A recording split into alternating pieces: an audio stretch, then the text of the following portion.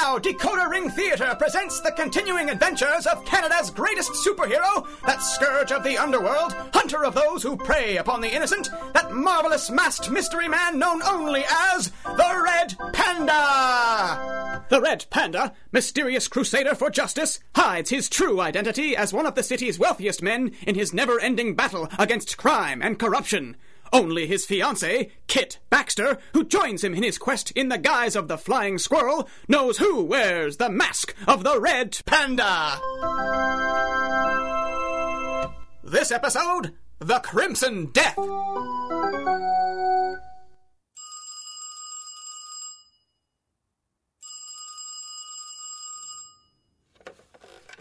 Hello, Judge Marcus speaking. No, hello, Mr. Purley. No, I can't say that I'm surprised to have you call. A little disappointed, perhaps, but not surprised. I've already told that reporter of yours that I have no comment to make. Yes, I'm aware that two other members of the Sanitarium Board have died in the last week. I do read the newspapers, Mr. Purley. Occasionally, I even stoop low enough to read the Chronicle, though I shouldn't like that to be generally known. For the last time, no, I have no interest in being interviewed. The public's right to know is not at risk, sir, as I have no information on the deaths of either Byron Chambers or Walter Grant. Good day, sir. Fool. As if I didn't have enough to worry about. What's that? Sounds like like footsteps on the stairs. It can't be. Operator? Operator, get me the police. Operator! Dead. But I. Just. It can't be. Having trouble with your service, Judge? Who is it? Who, who's there? Do you really have to ask? Stay back! Stay back! I've called the police! I doubt that very much. I cut the outside line 20 minutes ago. Impossible! I I just had a call! From Editor Purley of the Toronto Chronicle. I'm afraid that was me. The extension rang because I told it to.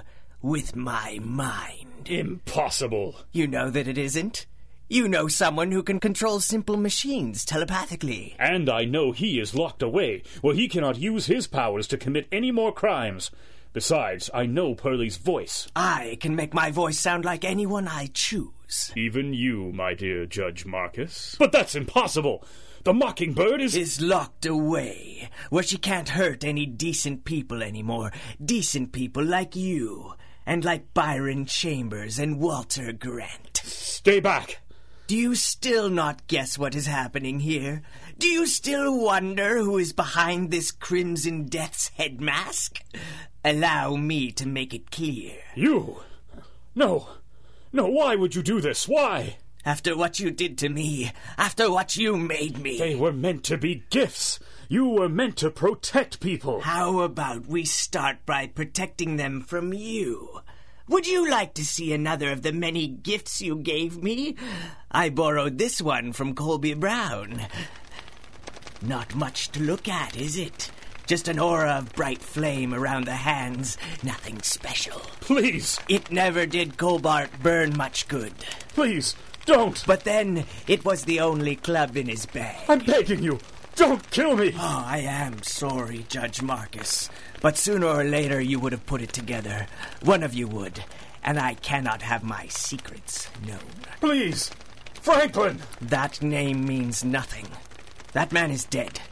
And in his place stands the beast you have created. A creature of vengeance and hate that you have made.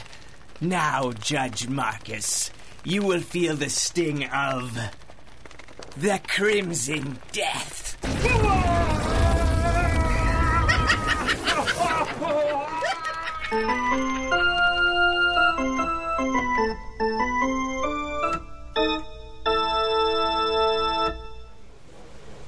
Watch your steps, sir. Yes, thank you. And if I might say, sir, it's been a real honor having you fly with us. Oh, well, thank you very much. Not at all. Miss? Thanks. He was very polite. I noticed that. The entire crew was. I don't know when I've had such a courteous trip. You do know that you own this airline, don't you? I do. That's a little disappointing. You'd rather people were nice to you just to be nice? Who wouldn't? It's an interesting point. Boy, uh, it's good to be home. You didn't enjoy our little South American holiday? Fighting dinosaurs and Nazis in the jungle? If everyone is going to think we were carrying on in advance of the wedding, I'd rather there was less danger and more daring do, if you catch my drift. Kit Baxter, behave yourself. Yes, boss. The wedding is in a month, and our unchaperoned superheroics will be quickly forgotten once we're man and wife. Man, and, Are you all right? You went pale just now. and just a little dizzy. I need a little air. Hmm. Perhaps a little exercise. Let's get a paper. A paper? We've been away nearly two weeks, Kit. I find whenever we lack for adventure, the city has a way of filling in the gaps. I'll take one of those, son. Man, and. Wow. Let's see. Ah, this looks promising. What's the headline? Madhouse murders claim third victim. Ah, a good old chronicle. Huh, hey, there's Weston with a car. He hates playing driver. Yes, well, someone won't let me hire a new one. Hiya, Weston. Miss Baxter? We'll drop Kit off at home first, Weston. I think she's a little worn out from the flight. Very good, sir. You don't have to make me sound frail. I'm just making you sound a little less indestructible. When did you have this glass put in? I put it in so we could speak freely on those occasions when we happened to use the limousine. The speaking tube is there if we need it. A speaking tube? Bad enough I have to sit in the back and let the butler drive me around. You're so hard done by. I really am. How's the madhouse murder? Any good? Which madhouse? You'll never guess. Not the Queen Street Lunatic Sanitarium for the criminally deranged. The very same. So one of the Goonie birds went on a spree? I don't think so, Kit. Last night, Judge Marcus was murdered in his home. He was the third member of the sanitarium board to have been killed, and each apparently by a different super criminal inmate. That's bad. How did they escape? That's the part that's even more interesting. They didn't. Boss? Drop off your bags, call your mother, and meet me in the lair. Ah, It's good to be home.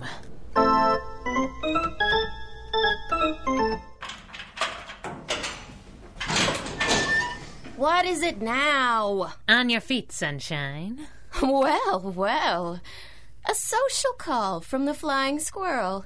Just in the neighborhood, or did they finally lock you up in here, too? Cute. I came to talk, Mockingbird, but if you'd rather I'd bounce you off the walls for a while. You wouldn't be the first, sweetheart. And the doctors would be mighty ticked if they heard you calling me Mockingbird. They've spent a year trying to strip that identity away. As if taking the costume would change who I am. But you understand that, don't you? What if I do? She admits it, at least. Maybe you belong in here after all. Mockingbird, what makes you think you can get inside my head? Mind games are the national pastime in here. Pull up a chair, but only because you keep calling me Mockingbird. You know what I've always wondered? A mockingbird has a song that sounds like laughter, but you can mimic anyone's voice. Shouldn't you be the mynah bird? Mynah Bird's a stupid name. Well, you got me there. What do you want, squirrel? I want to talk to you about Walter Grant. Who? Don't play tough. It doesn't go well with the pajamas. Walter Grant was on the board of trustees for the sanitarium. Was? Yeah, was. Four nights ago, he stepped off the edge of a building. Now he's not much of anything. Times are tough all over, I guess. Just you keep cracking wise. I might just do that. What's this got to do with me? You tell me. Call the nurse. Maybe if we were on the same meds, you'd make more sense. There was a fog four nights ago, a real pea super. A half dozen witnesses say that Walter Grant stepped off that building because he heard his wife calling him from a dozen feet to the south. So? So a dozen feet to the south was a five story drop. A voice that witnesses swear belonged to Mrs. Grant was calling from the middle of nowhere, luring her husband to his death. But Mrs. Grant was on the other side of town. To which I say again, so what? Don't play dumb, princess. We both know it's an act. Ventriloquism and mimicry? Does that sound like a skill set you recognize? You're out of your mind. You think I did it? It looks pretty good on paper, don't it? Why would. I don't even know this guy. And I've been locked up in here for 14 months, getting poked and prodded and tested. It's impossible. It ought to be, but there's a couple of problems with that. Like what? Two nights before, the head of the board, Byron Chambers, was stabbed to death at the theater by an invisible man. And the vapor just lives down the hall. This is nuts. And last night, Judge Marcus was burned to death by someone who left burn marks in the shape of his hands, just like Cobalt Burn would leave. You remember Cobalt, don't ya? Five nine, five ten, lives in the East Wing. Even if we wanted to, even if. For Pete's sake, Squirrel, tell me why and how. That's all I want. Why and how? You tell me, kitten. If somebody put you up to this, we can see that you get a deal if you testify. Tell the cops who put you up to it and how they got you out. You're out of your mind. If I was gonna bump a guy, why would I do it so public? Why would any of us? Why would I mess up a sweet alibi by doing it in front of witnesses? It's an interesting point. Hmm. But who else can do what you can do? Well, that red mask side of beef you run around with can make people hear voices. In their head, Mockingbird. No witnesses that way. What about you? You can throw your voice and mimic pretty good. I've always been pretty sure you cheat with some kind of gadget or. You really think you want to go with this angle as your defense? I don't need a defense. I haven't done anything. For your sake, sweetie, I hope that's the truth. Who are you? What is the meaning of this? Don't get excited, Dr. Reed. The Red Panda. The same. You took over as the chief psychiatrist of the sanitarium ten months ago. I'm surprised we have never had cause to meet. I've just been fortunate, I suppose. I'll thank you to stop rifling through those patient records. Those are confidential. I'm sure. You weren't on duty when the electric eel took over the facility and took the staff hostage. No, I was at a conference. Why? Oh, nothing. I just thought you might be less possessive of these files if we had saved your life. It doesn't seem to be slowing your reading down at all. Hmm, I noticed that. And it occurs to me that the electric eel took the staff hostage to lay a trap for you. Simon Radford was looking for help. Yes, I am familiar with your armchair diagnosis. Will you stop reading those files and speak to me? I think that you will find I'm quite capable of doing both, Doctor. You seem very unconcerned with these madhouse murders. There is no connection between the sanitarium and these crimes. That is an invention of the press. The murdered men were all members of the Board of Trustees, Dr. Reed. Do you deny that is a connection in its own right? Pure coincidence. There is no possibility that the inmates of this facility have been committing these crimes. None. You know, Reed, I'm starting to think you might be right. Oh, yes? Well, that's fine. Perhaps you can make that clear to the hysterical newspapermen in this town. Perhaps. And I know some of the staff here seem to have given you free reign over the place, but that has to stop. Do you hear me? I'm not convinced that you don't belong in one of these cells yourself. Well, when the time comes that you are convinced, Dr. Reed, you had better bring more than a few orderlies. Ones that you don't mind losing. I'll be going now. Yes, and don't come back. Of that I make no promises, sir. Oh, one more thing, Doctor. Yes, what is it? You are the representative of the medical staff on the Board of Trustees, are you not? What are you implying? Merely that it would be best for you if your own diagnosis were correct, dear doctor. If this is more than coincidence, I fear you have not seen the last of the Red Panda.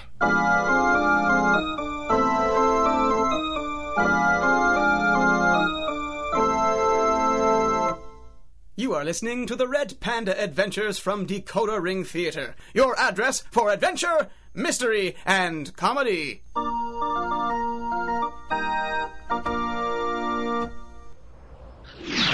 Hello, Peaches.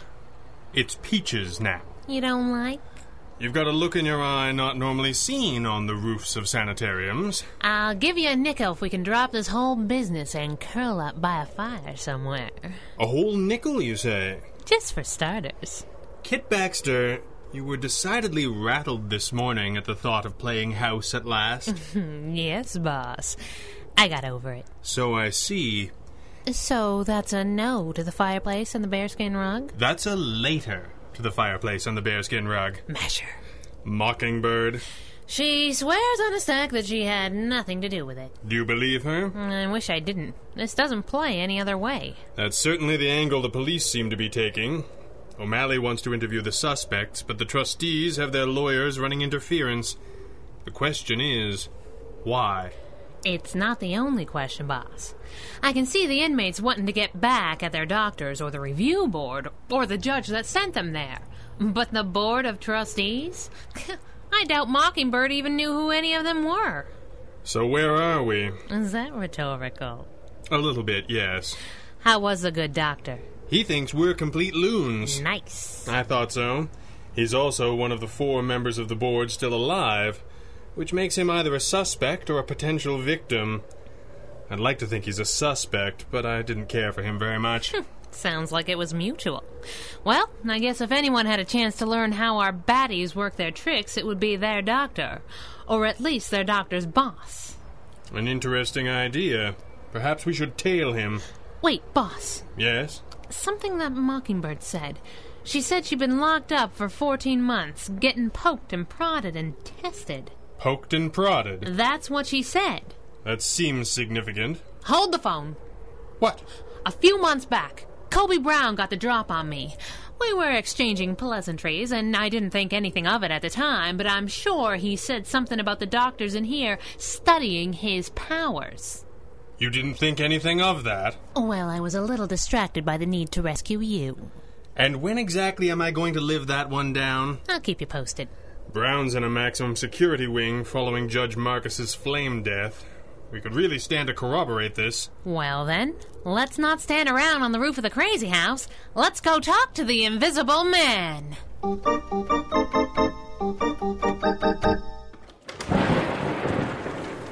You're late, Doctor.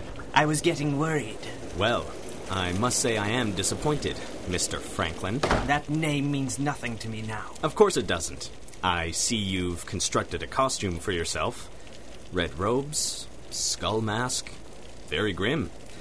You have created a new identity, of course. Dr. Reed. What is the name? I beg your pardon? The name, you pathetic fool.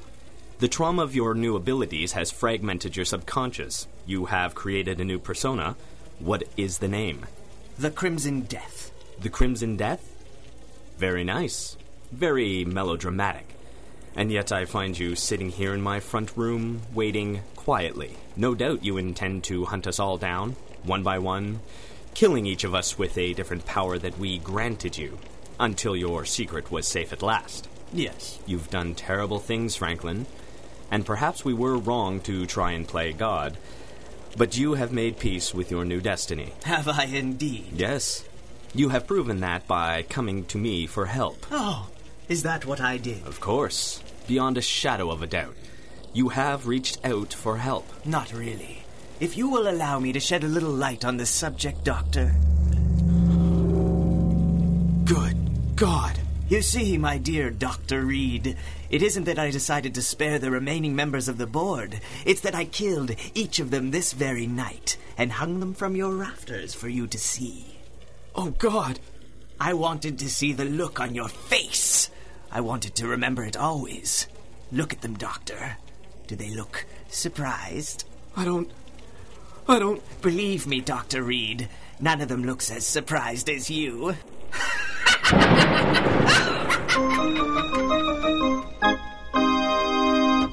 Boss, it's this door. Quickly and quietly. Am I crazy, or was security a lot tighter than we're used to? Same number of men as far as I could tell, but they were paying much less attention to keeping their charges in than they were keeping something out. Your pal the doc put the word out that we're persona non grata. Yes, he did. He also moved the vapor to the infirmary rather than leave him in his cell where anyone might find him. Hmm, kind of a lot of security for an infirmary, ain't it? It is, isn't it? Squirrel, What is it? look there. Who's the patient? That's him. That's the vapor. Oh, I've never seen him this visible. Vapor. Yoo-hoo. Something's wrong. What is it? Is he drugged? I assumed they were keeping Vapor down here because he was a suspect in the Chambers murder, and they didn't want the police to interview him. So? This place is too settled. He's been down here for months. Give me that chart and watch the door. This whole thing's gone pear-shaped, boss. Vapor's file didn't say he was sick. He's not sick. They've lobotomized him. What? That's why they don't want the police in here. Whatever they've done to this man, they did it without any sort of record. But why? Why would they... I think I might have an answer. The scar is almost healed, but it covers more territory than I thought. They might not have intended to leave the vapor in this state, but they definitely did some very serious brain surgery that left him a shell of a man. More poking and prodding?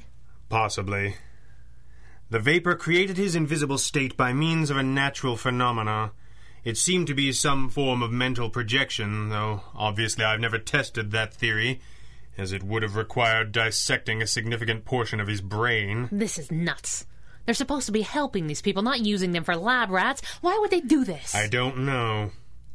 Let's pull apart the files in Dr. Reed's study and see if we can't figure that out. It's unlocked. Somebody's in there. I'm sure of it. I'll hit left. You go right. What if it's Dr. Reed? Hmm. Hit him once for me. Go! Well, well, I am impressed. What in blazes? Very close, my dear. I am the Crimson Death. Catchy. My quarrel is not with you. No, it's with the Board of Trustees, including Dr. Reed. You're the madhouse murderer. A dreadful piece of alliteration, but true. My reasons are simple and just. As you see, I've left the appropriate information from Dr. Reed's files on his desk, all wrapped up for the authorities with a lovely bow. Perhaps you would be so kind as to see they get it. Why would the cops be coming here? Unless you've already killed Reed. That butcher was on a list of people that I killed tonight. All will be made clear when you have read the material on the desk. Oh, and we're just supposed to let you walk away. You are powerless to stop me. I have the powers and abilities of a dozen of your enemies. What? Of course. That's why Reed was studying their powers. He wanted to replicate them. Yes! It was his dream to build a small army of superpowered men. In the end, he could only persuade the Board of Trustees to let him experiment on a single test subject. I suppose that man's name is conveniently blacked out in all of those files. Correct. With the destruction of the final members of the board, the identity of the Crimson Death will be secret forever, and my vengeance is complete. Vengeance? Are you telling me they did this against your will? Far from it. I, uh, volunteered. Why? Why would you let them mess around in your brain? Do who knows what else to you? Reed told me he wanted to build a hero strong enough to defend the city. From who? From us. Well done. Yes, indeed. Red Panda. Dr. Reed was a man with many dark secrets. He couldn't feel comfortable with an avenging angel he couldn't control or destroy.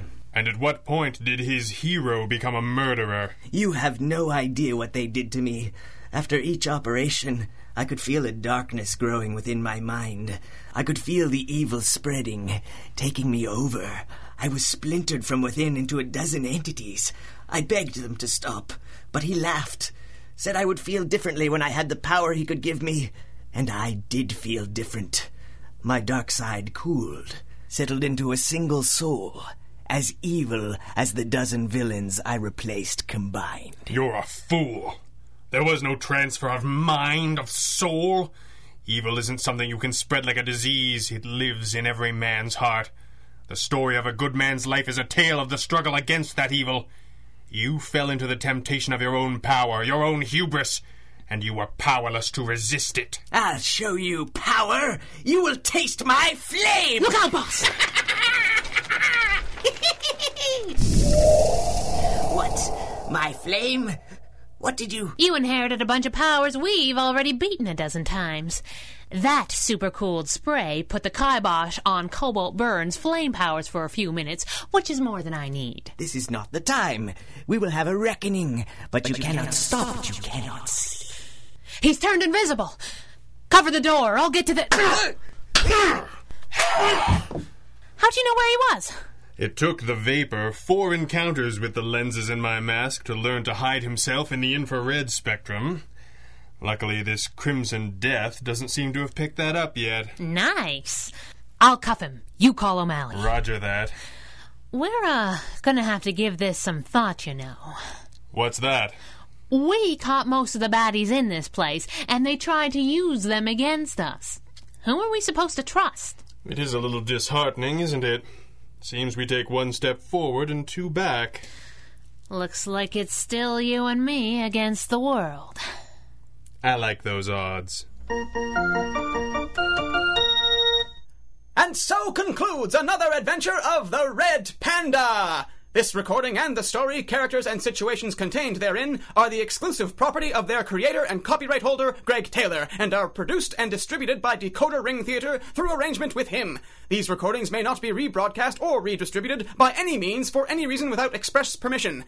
Until next time, when Decoder Ring Theater brings you the further thrilling adventures of Canada's greatest superhero, this is Stephen Burley reminding you DecoderRingTheater.com is your address to adventure!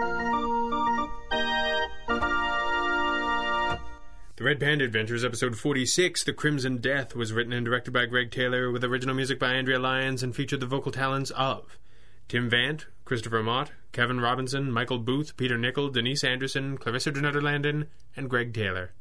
Until next time, for all of us here, good night.